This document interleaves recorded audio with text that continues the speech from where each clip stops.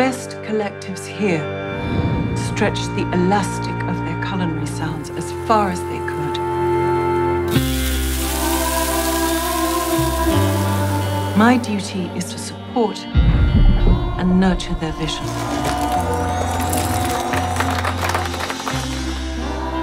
What made you want to be in a culinary collective? Sound always excited me. Silence from an audience was always my fear.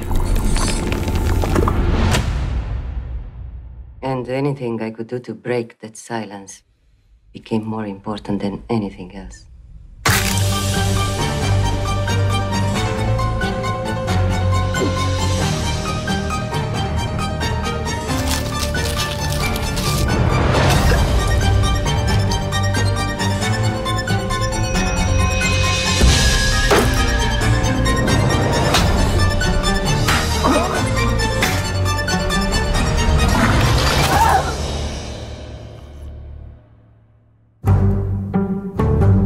Let's continue our investigation into an array of interculinary disciplines.